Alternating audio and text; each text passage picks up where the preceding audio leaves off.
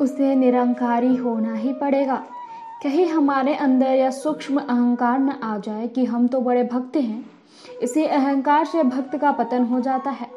यह समझना भी परम आवश्यक है कि क्या हम वास्तव में भक्त की कोटि में हैं। भक्त अपना मन, बुद्धि, हृदय, शरीर, धन, परिवार सब कुछ भगवान के चरणों में अर्पित कर देता है। उसके समस्त कार्य प्रभु के कार्य होते हैं। श्री रामकृष्ण देव परमहंस कहा करते थे, डुबो डुबो रे मन रूपी सागरे, बस आनंद धन में गोता लगाना ही भक्त का कर्तव्य है। परंतु यह पुरुषार्थ का काम नहीं, यह तो भगवान की कृपा से ही हो सकता है।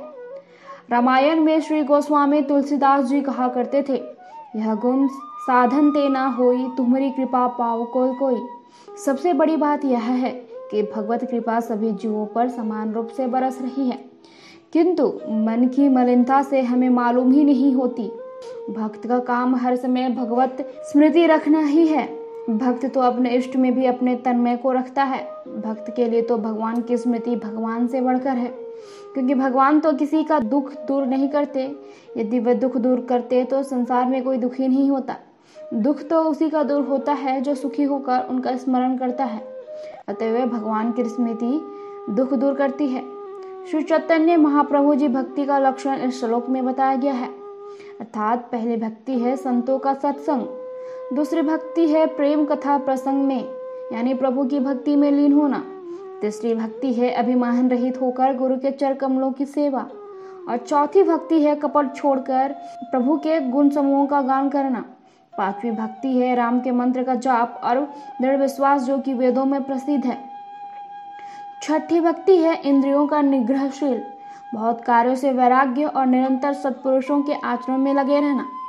सातवीं भक्ति है जगत भर को संभाव में ओतप्रोत कर देखना और संतों को राम में ही अधिक मानना। आठवीं भक्ति है जो कुछ मिल जाए उसी में संतोष करना और स्वप्न में भी दूसरों के दोष को ना देखना। नवी भक्ति है सबके साथ सरलता पूर्वक और कपट रहित बर्ताव करना। हृदय में राम भरोसा रखना और किसी भी अवस्था में हर्ष और विश्वास से दूर रहना। इसीलिए इन नौ में से जिसमें भी एक होती है, वह स्त्री या पुरुष, जड़ या चेतन कोई भी हो। राम को अत्यंत प्रिय है।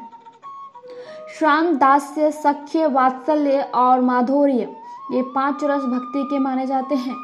वेदानी भक्तों ने कहा था शांत सख्य श्री गोसाई जी महाराज ने दास्य पौष्टि मार्ग, वैष्णव आचार्यों वात्सल्य और श्री चैतन्य महाप्रभु ने माधुर्य को प्रधान रस माना है।